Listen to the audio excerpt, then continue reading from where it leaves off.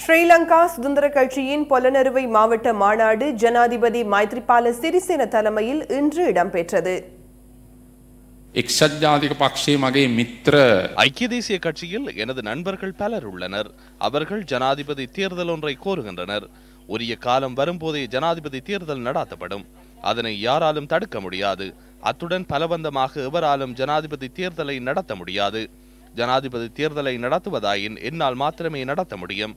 கடந்த வாரத்தில் மஹிந்த ராஜபக்ச என்னுடன் உரையாடிக் கொண்டிருந்த சந்தர்ப்பத்தில் ஒரு விடயத்தை கூறினார். நான் செய்த முட்டாள்தனமான செயலை நீங்களும் செய்துவிட வேண்டாம் என அவர் என்னிடம் கூறினார். வருட இறுதியில் ஜனாதிபதி தேர்தல் நடைபெறும். அதற்கு முன்னர் அரசியல் அமைப்பில் உள்ள சட்ட சிக்கல்களை தீர்த்து மாகாண சபை தேர்தலை கட்டாயமாக நடத்துவோம். அதனால் இந்த மறுசீரமைப்பு திட்டங்கள் மாகாண சபை தேர்தலை இலக்காக கொண்டே முன்னெடுக்கப்படுகின்றன. இதேவேளை தற்போதைய அரசியல் நிலைமை தொடர்பிலும் ஜனாதிபதி கருத்து தெரிவித்தார் මේ අවුරුද්ධ අපේ ආර්ථික සංවර්ධන වේග කීයද. இந்த வருடத்திற்கான எமது பொருளாதார வளர்ச்சி வீதம் எவ்வளவு நான்கு வீதம் கூட இல்லை பொருளாதார நிபுணர்கள் மற்றும் அரசாங்கத்தில் திறமையே இல்லை ஆனால் வெட்டி பேச்சுக்களுக்கு மாத்திரம் அளவில்லை நாம் ஏன் இவ்வளவு வீழ்ச்சியடைந்தோம் ஊழலே முதலாவது காரணம் உலக கிண்ணத்தை வெற்றி கொண்ட கிரிக்கெட் துறை ஊழல் மிக்க விளையாட்டாக மாறியுள்ளது போட்டிகளின் தோல்விகளுக்கு அணியினரே காரணமாக அமைகின்றமை பாரிய பிரச்சனையாக மாறியுள்ளது. நீங்கள் ஜனாதிபதியாக நியமிக்கப்பட்டு நான்கு வருடங்கள் கடந்த பின்னரும் இந்த பிரச்சனைகளுக்கு தீர்வு வழங்காதிருப்பது ஏன் என சிலர் கேட்கக்கூடும். என்னால் முடிந்த தீர்வுகளை நான் வழங்கியுள்ளேன். அவற்றை நடைமுறைப்படுத்துவதும் திட்டங்களை செயற்படுத்தும் விடயங்களையும் கீழ்மட்டத்தில் உள்ளவர்களே மேற்கொள்ள வேண்டும். இங்குள்ள அரசியல் பிரச்சனைகளை நீங்கள் அறிவீர்கள். அவர்கள் அதனை செய்யவில்லை. என்னை ஜனாதிபதியாக நியமித்து அவர்களுக்கு ஏற்ற வகையில் செயற்படும் தேவை சிலருக்கு இருந்தது. அதனால் வரலாற்றில் பாரிய ஊழலான மத்திய வங்கி மோசடி இடம்பெற்றது.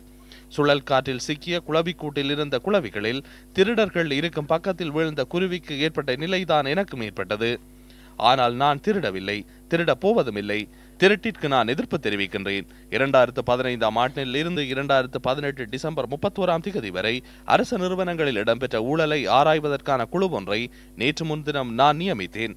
எனது காலத்தில் எனது அரசாங்கத்தில் இடம்பெற்ற ஊழலை ஆராயும் செயற்பாடு தொடர்பில் தற்போது சிலர் குழப்பமடைந்துள்ளனர்.